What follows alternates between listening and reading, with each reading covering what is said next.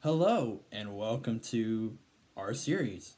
Of course, as you all know, we are talking about every single Congress in American history, starting with this one right here, the very first one, the first Congress. I mean, yeah, what else would they call it? The Congress Beta? Yeah, they don't. um, so, anyways, this Congress was in session from 1789 to 1791. Yeah, I know, it's uh, two year intervals. So, it's kind of the main theme about Congress. Whether you're a senator or a representative in the House. So, a few key things we will talk about in this series is, of course, how many sessions, uh, the membership of each of uh, yeah each house, um, who the Speaker of the House is, who the President of the Senate is, and the President pro tempore, as well as one interesting fact that happened in America during the time of that Congress, or a major event politically, I should probably say, or you know, just a fun fact during that time period in general. So, I managed to do that. Surprisingly. Woo. Uh, okay, so we're going to start out with the sessions. How many sessions were there in this Congress? Three. Yeah, three. Uh, I didn't write down when these didn't when these happened, and uh, yeah, that's gonna be the thing about the sessions about the series. Uh, I don't have time to actually put down when each session was, because that's too much time on my hands. I'm a busy guy.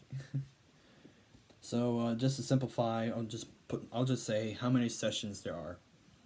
If you want to know when each session was, something called Wikipedia. Look it up. I don't have time. Anyways, the House of Representatives. Um, the way how we're doing this is we're doing it based on the end of the Congress of how many there's supposed to be. As you all know, in the House, it's uh, members in the House of Representatives are based off of a state's population. So, in the state's population in the late 1700s, you know, after we won our war for independence against uh, the British, um, the grand total of members of the House is 65 at the end of this Congress. We're doing them based off the end of, the, of each Congress, like I already said. Um, the Speaker of the House was Frederick Muhlenberg. He was a pro administration. Yeah, there were two parties, kind of.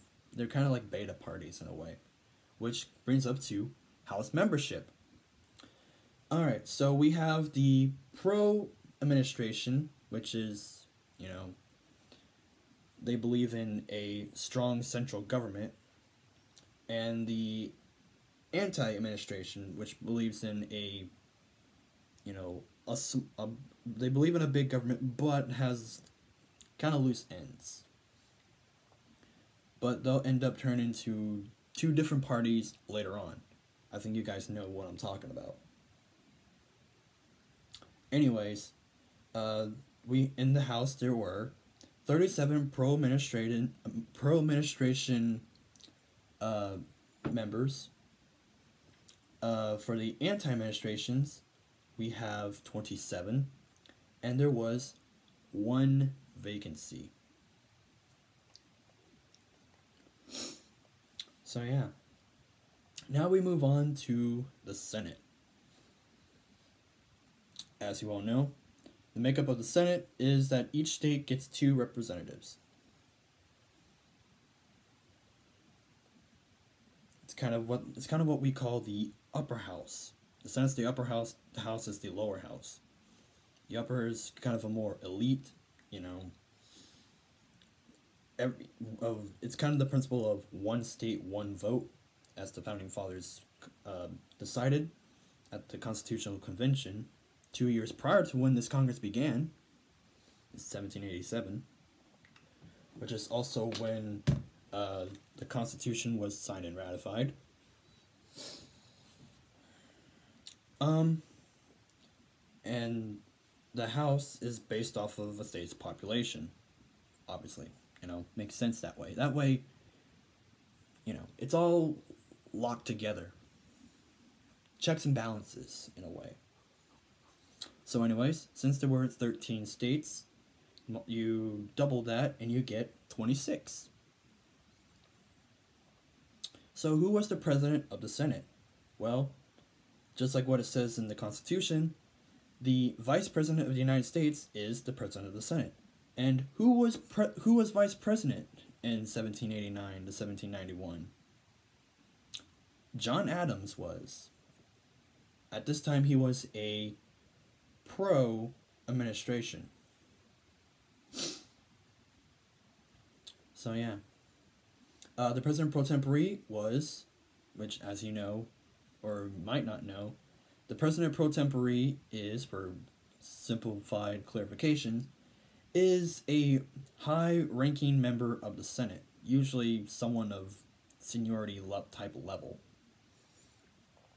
So it is Senator John Langdon, spelled L A N G D O N. And he too is from the pro administrative. Uh, I guess you could call a party, but once again, they're kind of beta parties. Um, so membership is uh, 18 pro administrations and 8 anti administrations. And now it's time for the fun fact of the Congress. or during the Congress, whatever you want to call this. It's part of the video. Um, this was when, obviously, 1789 was when this guy, George Washington, becomes the first president and gives his first gives the first ever State of the Union address. Which for this year of 2019 Trump gives his on Tuesday, the 29th of January, which is a day that a Congress video will be up. Which one will it be? Tune in and find out. Speaking of which, that's all we have for this episode. Stay tuned for tomorrow on the second Congress. Stay cool, stay tuned.